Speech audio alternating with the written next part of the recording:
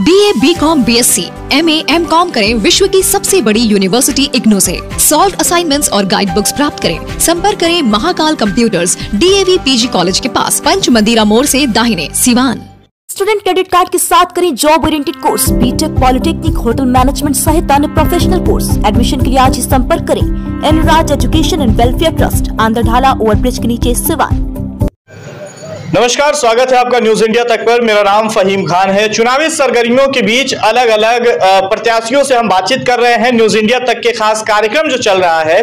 हमारा चेयरमैन कैसा हो, इसके तहत लोगों का मिजाज भी टटोलने की हम कोशिश कर रहे हैं कि लोग किसे जो है कि चेयरमैन के पद पे भेज रहे हैं। हालाँकि देखिए, इसके बीच अलग अलग प्रत्याशियों से बातचीत हो रही है। इस वक्त हम सिवान नगर परिषद क्षेत्र के वार्ड संख्या 36 में पहुँचे हुए हैं। हमारे साथ जकी अहमद हैं जो कि वार्ड पार्षद के प्रत्याशी और इनसे जानने की कोशिश करेंगे किन मुद्दों के साथ चुनाव लड़ेंगे। देखिए, ये तो सवाल यही होता है, लेकिन प्रत्याशियों का जवाब जो आता है, वो जवाब में ये रहता है, सड़क बनाएँगे, नाली बनाएँगे, बिजली की व्यवस्था बेहतर करेंगे, उससे अलग हट करके जकी अहमद जो है, वो क्या कुछ करने वाले हैं? सबसे पहले तो आपका बहुत बहुत स्वागत है हमारे चैनल पे। धन्यवाद। मेरा नाम जकी अहमद है। मैं वार्ड नंबर छत्तीस वार्ड पार्षद के प्रत्याशी हूँ। मैं हर समस्या का समाधान अपने ढंग से निकालूँगा। चाहे जैसा भी समस्या हो मैं उसको कोशिश करूँगा कि मामला को हर तर, हर तरह से सुलझा दिया जाए बैठ कर के अपने आप उसको सुलझाया जाए। जगी जी सिवान नगर बात करें तो अलग अलग वार्डों की बात करें जल जमाव की समस्या बरसात के मौसम में हो जाती है, और सबसे बड़ी समस्या अगर सिवान के अलग अलग वार्ड या पूरे नगर परिषद क्षेत्र की समस्या सबसे बड़ी कोई समस्या है तो वो है कचड़े का अंबार। अलग अलग गली में जब देखेंगे तो कचड़ों का जो है कि ढेर लगा रहता है।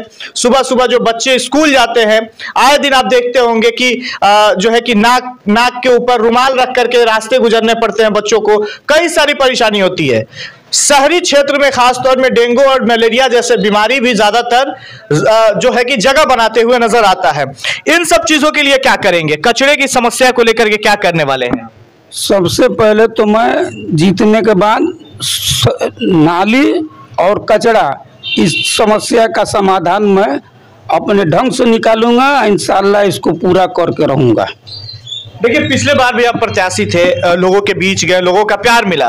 इस बार का माहौल कैसा है? चुनाव में अब ज़्यादा दिन बचा नहीं है। 28 तारीख को, आगामी 28 दिसंबर को मतदान होंगे और उसके बाद ही पता चलेगा जब 30 तारीख को काउंटिंग होगा। मतगणना के दिन पता चलेगा कि वार्ड, किस वार्ड के प्रत्याशी किस वार्ड की जनता किस प्रत्याशी को उस गद्दी में बैठाती है। चेयरमैन का भी जो है कि जो सरगर्मियाँ हैं, वो भी बहुत ही तेज है। लगातार अलग अलग प्रत्याशी कर रहे हैं हम जीत रहे हैं ये जीत रहे हैं वो इस तरह की बातें निकल के आ रही है।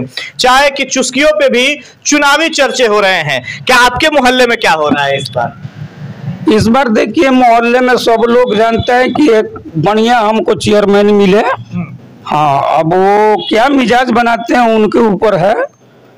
मैं किसी से कुछ कह नहीं सकता कि आप किसको वोट दीजिए मगर इतने कहें कि जो भी अच्छा हो ईमानदार हो सुलझा हुआ इंसान हो उसको आप लोग चुनिए। देखिए, चुनाव एक ऐसा चीज़ है कि चुनाव में कुछ प्रत्याशी ऐसे भी होते हैं जो बिहार से बाहर, देश से बाहर, यानी कि सऊदी में या फिर अलग अलग कंट्री में रहते हैं और चुनाव लड़ने के लिए वो अपने घर आ जाते हैं। जिसको लोग शायद इस तरह से कहते हैं कि बरसाती मेढक के तौर पे वो लोग उतरते हैं और चुनाव के बाद फिर वो अपने घर में बैठ जाते हैं। चुनाव से पहले आपने क्या किया है अभी तक वार्ड के लिए? मैं वार्ड के लिए पंद्रह साल से लगा हूँ। मेरे वार्ड में घूम करके पता कर लीजिए मेरे बारे में। मैं हर एक घर का काम किया हूँ। हर तरह चाहे वो विधवा पेंशन हो या बुढ़वा पेंशन हो या और भी बहुत ऐसा राशन कार्ड वगैरह सब हो। विकलांग पेंशन हो, विधवा पेंशन हो, बुढ़वा पेंशन हो, सब मैंने उन लोगों को किया है। आप घूम करके पता कर सकते हैं। अगर नहीं किए हो तो मुझसे पूछिए। जकी जी चुनाव जीतने के बाद मुख्य तौर पे सबसे पहला काम क्या होगा आपका? आपके वार्ड क्षेत्र में सबसे पहला काम क्या होगा? जिसका जो हक है मैं दिलवाऊँगा। इसके लिए मुझे जो कीमत अदा करना होगा मैं करूँगा लेकिन जो जिसका जैसा काम हो वो मैं करूँगा। ये मेरा वादा है। किस कीमत की बात कर रहे हैं आप? कोई भी कीमत हो जहाँ तक जिस तरह से भी हो उनका काम मुझे करना है।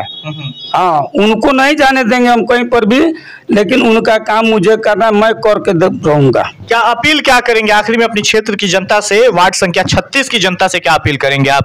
अब चुनाव में भी वक्त नहीं बचा हुआ है। मैं यही अपील करूँगा कि मुझे अपने मतदान को अपने ढंग से मतदान कीजिए मत दीजिए और मुझे विजयी बनाने के प्रयास कीजिए। मुझे किसी से कोई शिकायत नहीं है ना मैं किसी की शिकायत करता हूँ लेकिन इतना ज़रूर कहें कि मुझे जिताने की कोशिश आप लोग कीजिए। बस यही आप लोग से मेरा अपील है। चुनाव चिन्ह वगैरह क्या है? चुनाव चिन्ह मेरा ढोलक छाप है ईवीएम के दो नंबर पर है। चलिए, बहुत बहुत शुक्रिया। देखिए, जकी अहमद थे, जो कि वार्ड संख्या, सिवान नगर परिषद क्षेत्र संख्या क्षेत्र के वार्ड संख्या 36 से वार्ड पार्षद के उम्मीदवार है। लगातार जनसंपर्क कर रहे हैं अलग अलग प्रत्याशी भी लोगों के बीच जा रहे हैं। 28 तारीख को आगामी 28 दिसंबर को मतदान होंगे और 30 तारीख को, यानी 30 दिसंबर को मतगणना होगा और उसके बाद ही पता चलेगा कि किस वार्ड से कौन से प्रत्याशी को लोगों ने वार्ड पार्षद के गद्दी पर बैठाया है। ऐसी तमाम खबरों के लिए बने रहिए न्यूज़ इंडिया तक के साथ। चेहरे के दाग धब्बे, बालों का झड़ना या स्किन पे झाई या झुर्रियों के आने से हैं परेशान। तो आज ही मिले डॉक्टर बी एच नासिर से अपने चेहरे और बालों की देखभाल के लिए। आज ही आए भारत हॉस्पिटल, हुसैनी मोड़, बिंदुसार रोड, सिवान। अधिक जानकारी के लिए कॉल करें।